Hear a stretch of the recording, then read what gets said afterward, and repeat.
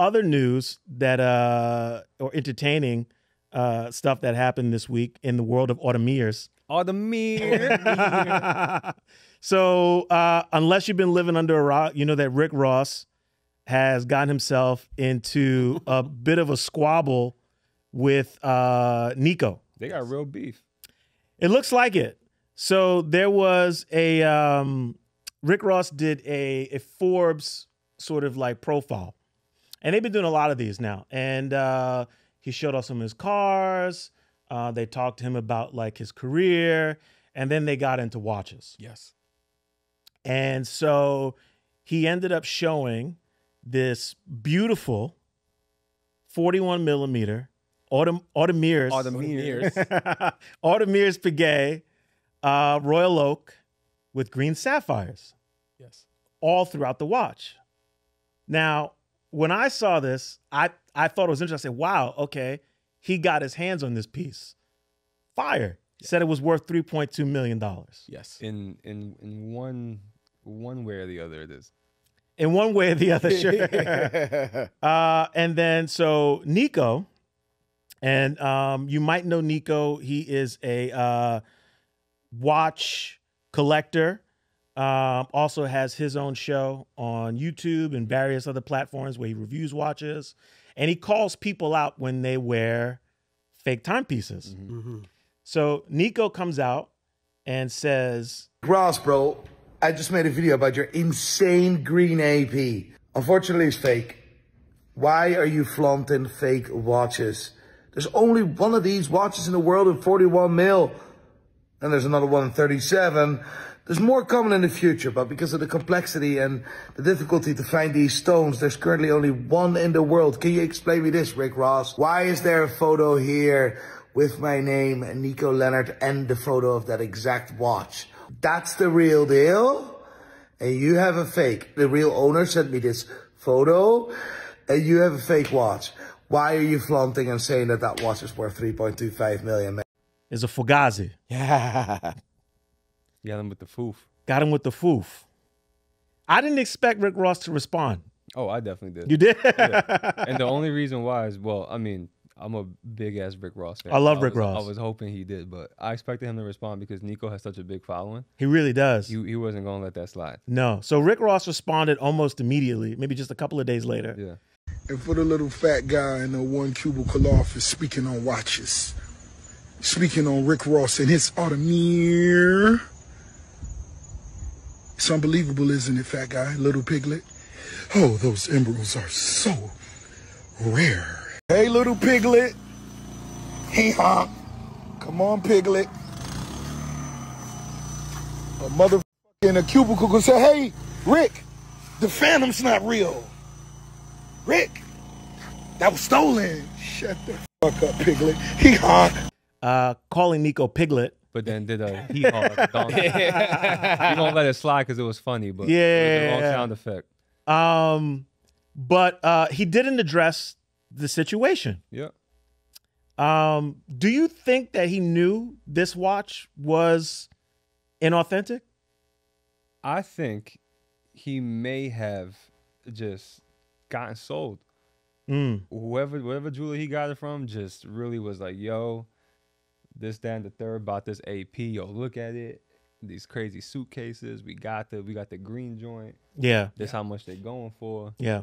And you know, he he fell in love with it with his new Audemir, and he copped. I think that's that's Yeah. Yeah. So- so I do think. Sorry, I cut you No, off. but please. I do think he may have done some educated research after the Nico video, and I think that's why he didn't say nothing about the watch specifically. I also know. I also seen he hasn't worn the watch since. Yes. Yes. So here's the thing. Uh, We talked about we talk about bust downs occasionally, and uh, I don't doubt that the watch is an authentic Audemars Piguet watch. Yes. I don't even doubt that the sapphires or the green emeralds, whichever they are, are also real stones. Yes. The fact of the matter is, and this is something that's always constantly up to, for debate, is that you know it wasn't done at the Audemars Piguet factory, Yes. and so therefore, it's inauthentic. Yeah. Um, my personal opinion, I think it would have been cool if Ross came out and said, "No, I know this isn't the that, but I'm a fan of that watch. Yeah. So I asked my jeweler to customize my AP and make that watch. Yes. I almost have no problem with that. I don't either. But so Nico and actually Nico posted a video where he kept talking about the watch specifically after Ross responded. After Yeah. he posted this little video in the in the Rolls Royce. yeah. um, and it was funny because someone who we also had beef with was Trax, and he. Oh, Trax. yeah. yeah. and he's like, "Yo, like, let's really look at this watch. Like, this case, this bracelet was not made by AP." No. He said the only thing that's probably real on this watch is the movement. Mm. So at that point, he Rick Rick Ross might have just gotten got. Yeah. He just he like I said, he got sold on it. Listen, it can happen to the best of them. Yeah, I mean it happened to Lil Baby, and you know he they, they did him right. Yeah. Icebox did him right. It's just if how does Ross recover from? I don't want to say the the embarrassment. I don't think he's embarrassed. Just, I don't think like, he has anything to be how do you- embarrassed no, about. I don't think so either. I just think you know like, is he gonna get his bread back for this watch? Definitely. Is he gonna get something else? Like what? Like what's going Yeah. on? Yeah. And but then how, and then how does he address that? Yeah. Does he is there a truce to be called? Who knows? Mm. Do they do they do a joint video? Does Nico FaceTime I would love Ross that. next? Because that I would, would be love that. fire. I think I think the coolest thing too is um, that Nico Leonard is um, is kind of attacking Rick Ross in the uh, in the same art as how he uh, as how Ross would in the hip hop world. there is an element to it that is very hip hop. It Yes. reminds me of his uh of DJ Envy's comments. Yeah. Oh yeah. well, well, and so and so for so many people that aren't familiar with the culture of watches, they may think that Nico Leonard is just this guy coming out of nowhere with no credibility Yeah. to talk to Ross in this kind of right. manner. Yeah. And you know, it's easy to get caught up in that until you think eh, to take a few steps back to say, actually, you know what? Ross trolls how many other artists? All the time. how many other artists troll others and things like this. So this is actually a sport, Yeah. and it, Fun. It's it- fun it- for, it- for us to watch. And for it's to it's fun for everyone to watch. I think that is is is really really cool to see. You know, Le- Nico Leonard kind of stand his ground on this. Sure. he's not letting up. I think he's put out what maybe about four or five videos, Crazy. Yeah. like just going at him. Yeah. And you know, to your point, Ben, um, you know, Ross hasn't addressed the watch. Uh, I think there's some people now in this corner like putting them on game. I hope so. And I think that's the biggest thing to, you know, to take from all this is that, you know, at some point everybody learns their lesson, right? No one's exempt. And as much of a, a enthusiast or fan of watches that, you know, Ross may be, I think, you know, and I hope that there's a valuable lesson here that he's learned, and I'm sure he has, just in terms of um, you know, why factory is seen as king. Nothing wrong with customization, Yes. but if the person who dealt him this watch was positioning it as like, hey, this is one of those, Yeah. it's one of those situations where you'll very quickly find out that, like, hey, that's not exactly the case. Yes, like that's- a piece unique. That's definitely something that uh, watch collectors, the guy who owns it, and Ross for himself after he found out what he found out should definitely have beef with because you're trying to recreate a one of one. Right. Or technically a one of two because the watch comes in a 37 also. Yeah. Just means you have a fake watch. right.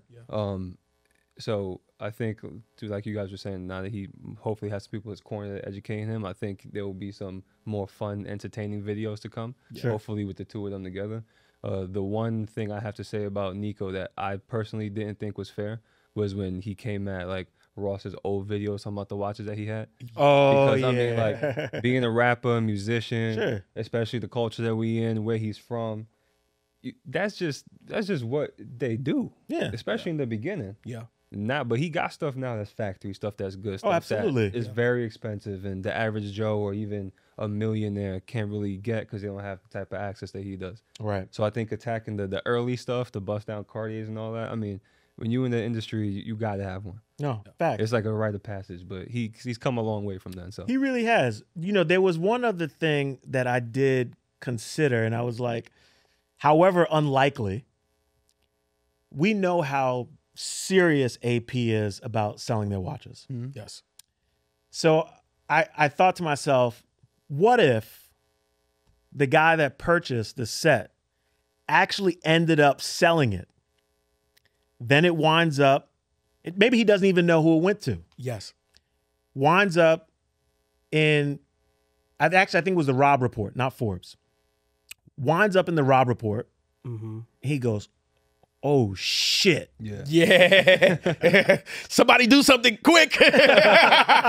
Nico has a relationship with Ross, knows the guy, and is like, "We got you. yes. Don't worry. Watch because We're gonna fabricate Yeah, right. this whole thing. Yes. It's gonna go viral. Yes.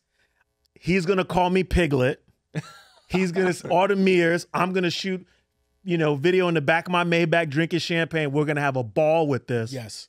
But we're gonna protect our guy and we're gonna protect Ross. Yeah. Yes. And I was like, what if, what if that, what if that was the case? This is some Joe Rogan level conspiracy talk. Right here. that that'd be fire though. If that was really well, what the thing is this too. To think about it, Ross was very comfortable to share this watch and to say that it was three million dollars.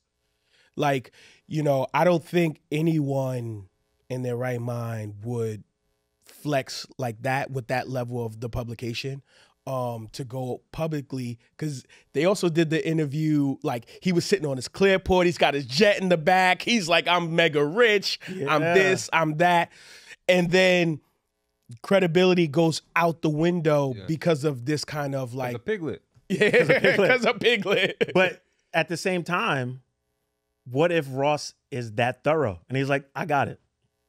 Don't worry. It's fine.